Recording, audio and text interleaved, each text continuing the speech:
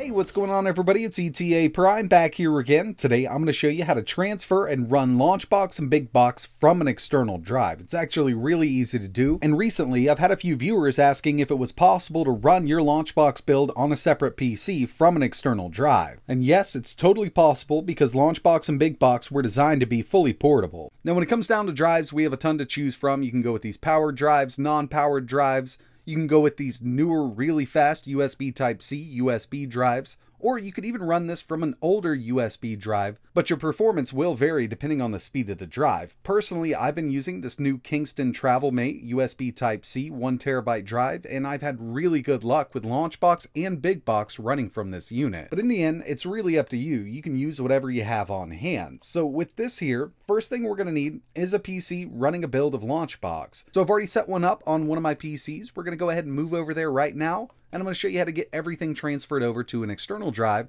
to keep it nice and portable. Alright, so I've just moved over to the PC I have Launchbox installed on. This is actually the build that I want to transfer to an external drive to make it portable. This one's quite small, I just built it for this video, we only have 95 games. First things first, let's go ahead and close Launchbox down. I would highly suggest just checking the size of your Launchbox build.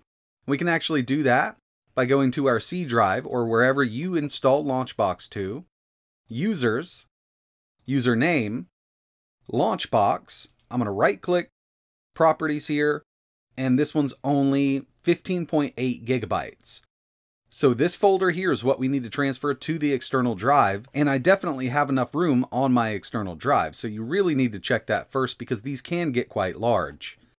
Now, as we saw in the beginning of the video, I have a portable 1TB drive. I've just named it Kingston, it's drive D, and I definitely have enough room. We've got uh, a ton free on here, so we'll go to Properties. Yeah, I've got 852 gigabytes free. And basically what I want to do is transfer that Launchbox folder over to my external drive. So what I'm going to do is open this up in a new window, and I'm going to snap my external drive over to the right hand side and I'm going to find my Launchbox folder on my PC. So we'll go to our C drive, users, username, Launchbox, and I'm going to drag it right over here. So while that's transferring over, there's one thing I suggest downloading just to make sure that Launchbox will run on the PC we're going to move over to and that's going to be .NET Core 3.1. So when we run Launchbox for the first time on a PC, it will ask us if we want to download this, but just in case you don't have internet access, like you're running this on an arcade cabinet with no Ethernet or Wi-Fi, we will have this application so we can manually install it. But since we want to keep Launchbox portable on that drive, I suggest downloading this. I'm going to go with the 64-bit version, and we want the Windows version. So we'll go x64. It's going to download for me and I'm just going to place it right on my desktop. So now we have our Launchbox build transferred over to our external drive. We're just going to open this up on the external drive. We're going to place this right in the root folder. That way we always have access to it. Now this is really just in case you don't have internet access, but it's always good practice to have this on hand so we can just place it right on that external drive with our Launchbox build. So now that we have Launchbox and BigBox on our external drive, I'm going to go ahead and move over to another PC that I've never installed Launchbox on in the past. And the way we have the external drive set up right now, we can run Launchbox and BigBox directly from that drive. I'm just going to grab that drive we transferred everything over to and plug it right into one of the USB ports here. And like I mentioned, I've never had Launchbox or BigBox installed on this PC, at least the way it's set up right now. So we'll plug that drive in.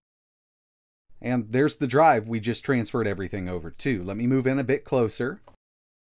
And from here, we're just going to go right into that Launchbox folder, and I'm going to start up Launchbox. This PC does have access to the internet, so as soon as I try to launch it, it's going to tell me that I need to download .NET 3.1. From here, you can actually choose yes and move over to the download, but since we already downloaded it on a separate machine and placed it on this external drive, I'm just going to run it from here and it's a quick install. Give it a few seconds to finish up. Now we've got it installed, we can go ahead and start up Launchbox. It's not going to prompt us anymore. We've got everything we need installed on this PC, and it's running from the external drive we transferred our folder over to. And there you have it. So yeah, we've got Launchbox running from an external drive on a brand new PC.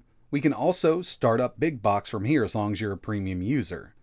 So just start up Big Box, and there you have it. You now have Launchbox and Big Box installed on an external drive. You can carry this around with you and basically run it on any x86 PC. But that's going to wrap it up for this video. I really appreciate you watching. I had a couple people asking about this, so I figured I'd go ahead and make a quick video on it. And as you saw from this one, yes, Launchbox and Big Box are fully portable.